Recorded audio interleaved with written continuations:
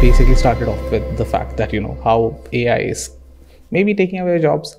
So, and then there is, of course, there is this utopian opinion and of course dystopian. So, could you lead us with that? Absolutely. So, we're at a place where there's a lot of conversation about AI automating or augmenting. And the, the focus for a lot of people is whether or not this means is my job safe? Right. And what am I what am I going to do? The greater conversation is more about our relationship with work. So there's a lot of fear around new emerging ways of technology that come every single time. We had the same thing with the internet to some extent where we, we thought this would fracture certain businesses, Right. take away jobs from legacy ways of doing things. And it did in some cases. It did take away jobs that were, um, you know, people working at bookstores. There aren't many people who do that anymore. Um, other types of work, even digital cinema, same thing. There aren't many people who cut negatives for film anymore. But for many of those industries, those skill sets were applicable to the next analog that came our way from whatever that technology moved us towards. Right. It's hard to see that when you're facing the new technology for the first time. What does that look like for me? And if my job that is automated away in this specific, specific context, what does that mean for me? Like most people think that I'm just out of a job permanently. I'm, I'm on a breadline for the rest of my life. And if you take a look at previous ways of technology, that's not true in the long term. Oftentimes, technologies create greater opportunity. There's new markets that uh, that develop. So, for example, um, if you take a look at the um, automotive, when cars were uh, kind of brought out to society, there were hundreds of thousands of people who took care of horses and that were drivers and that were chauffeurs. All of those jobs went away within the course of you know a while because Right. not everybody had an automobile right away. Right. But not only did it take away those jobs and give people new autonomy in their own transportation, but it created new industries. The suburbs were a new invention that were spurred by the automobile. The skiing industry, which is something that's huge in a number of countries, especially where we are right now, that existed because of the automotive industry. Because you now have access to a place that was three, four, five uh, hours away, where your horse could never have gotten you. Got it. And no one's thinking about the ski industry when they're making the car for the first time. Got it. So the connection here is what we see is what's right in front of us. It's really hard to say what new markets is AI going to create? What new roles, opportunities, and jobs is it going to create? But it's very easy to take a look at the very specific jobs that it could potentially eliminate. Things like customer service, things like IT support, all have big parts of those jobs that can be automated by IT. So people are worried, what does this mean for me or my sector? And there will be fluctuations because even the people at the top, the leaders who say, who see these efficiencies say, ah, I can cut staff and see efficiencies and be rewarded by stock price. Yes, in short term. That's short term thinking. But when those new markets come uh, around, that's where the opportunity is going to be. And when you take a look at what augmentation can happen with jobs, that's where exponential growth happens. You don't cut your way to growth, you cut your way to efficiency. But growth comes by giving people new potential powers and saying, let's create together. Got it. Not, how can I get rid of you? Got it, got it, got it. So uh, I think one another thing that you actually did speak about is basically two things. One is machines are efficient, and Yes. humans are known known known to be inefficient. Yes. Okay. Absolutely. Uh, so uh, from, from there, uh, what implies? I mean, of course, you know there is there is job market at the picture right now. Yep. Uh, so, but then uh, there is also a lot of cybersecurity concerns and implications that is basic, you know, coming around.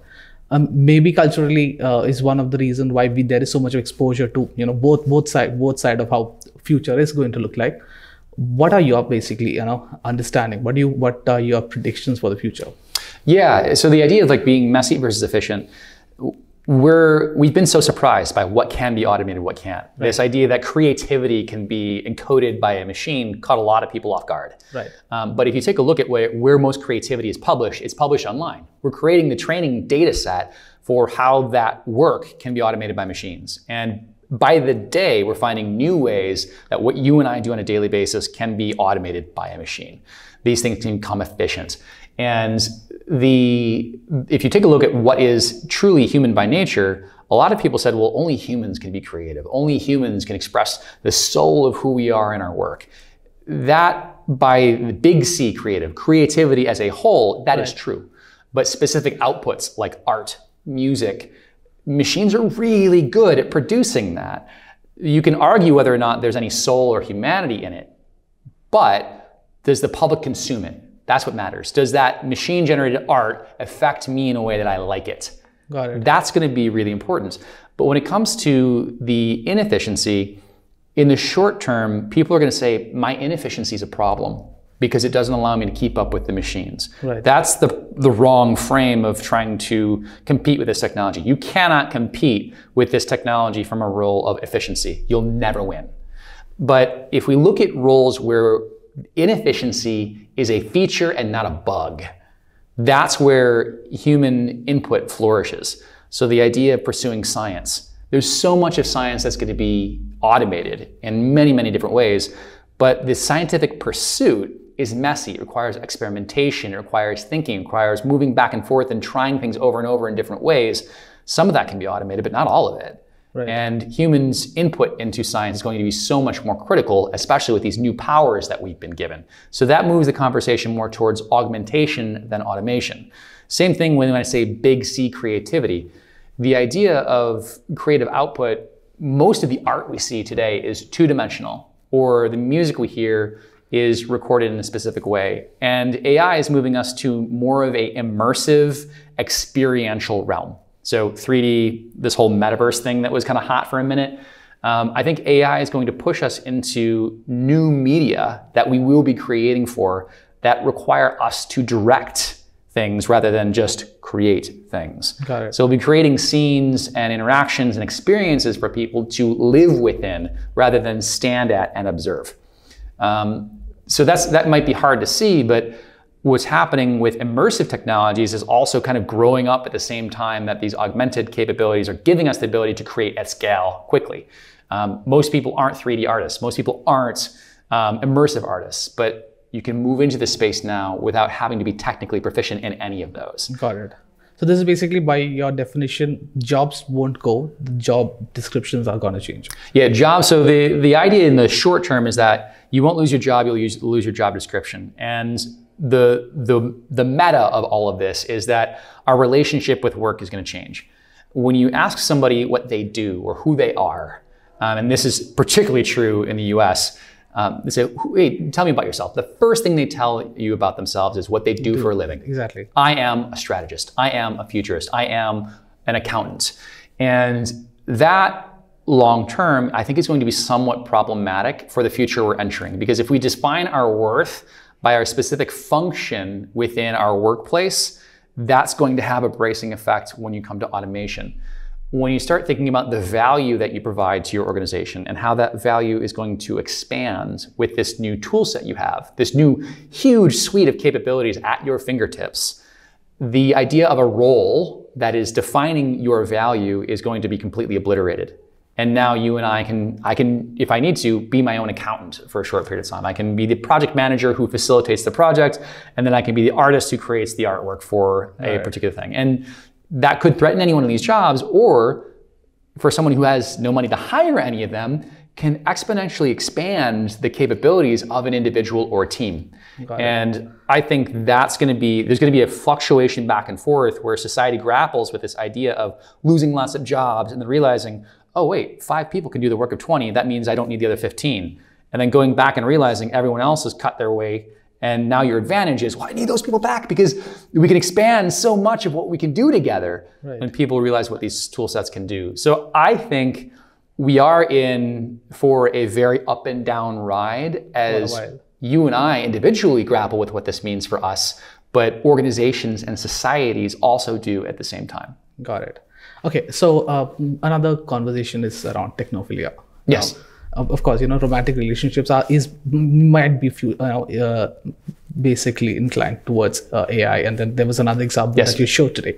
Her is another example. And then there was also examples of you know deep fake uh, uh, AI and then deep fake uh, basically people and then you know Yes. yeah they were, th- there was a research done and then people actually scammed into it and those kind of things are also happening. So do you think there is a heightened risk on this particular domain? Is there a what? A heightened risk on this particular space? Absolutely. Yeah. It, there, there's, uh, we're seeing both ends of the spectrum right away.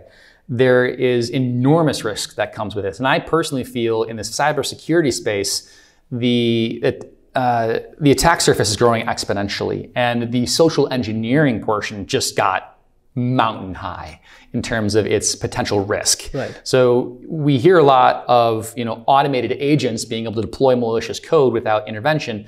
That's only one piece of the puzzle. When I can call 500 different people and emulate persons of importance to them, their boss or their loved one, in a way that can manipulate them to give me what I need, my ability to really lean into social engineering to overtake an organization or get something and extract value becomes exponential. So that's massively problematic. You and I are already thinking about how do we not get hacked? How do we make sure that our email is safe or the, our credit card details are safe? That's only one part of the equation. Right. When someone calls up and sounds like your best friend saying, Hey, I just got thrown in jail. I need $5,000 bail now or I'm in real big trouble. If it sounds like your best friend, you're going to do whatever you can to get them that money, whether you have it or not. And they're going to lean on this.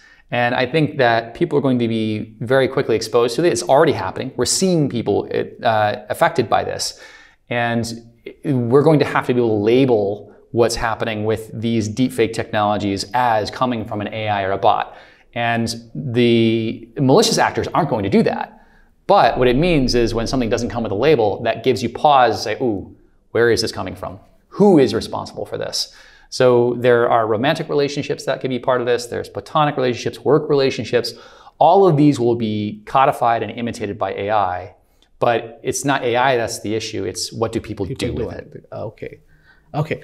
Lastly, uh, you know, there, there's a serious conversation with OpenAI and you know artificial general intelligence. Yeah. That's that's the future. That's probably where the world is right now heading to. And but that's Yes. one of the reasons why Miku was you know pointing out that this is the hottest AI summer. Hottest AI summer on record. Yeah. Right. So, uh, what are the implications? Especially, you know, of course, of course, it can be good, it can be bad, but you know, as a futurist, Yes. what do you feel? What's basically in store for us?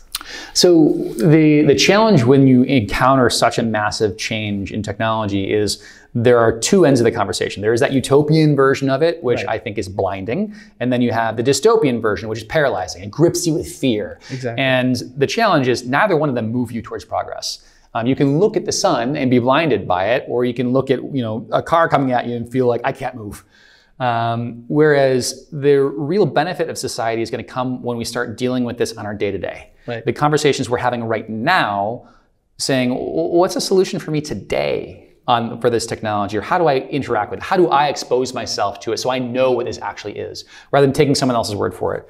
Have I interacted with ChatGPT? Have I played with other versions of AI? Have I spent time knowing what this looks like for me now? Is so important to having really productive conversations about what the future will look like because we get a decision in making this happen. The future doesn't just happen to you.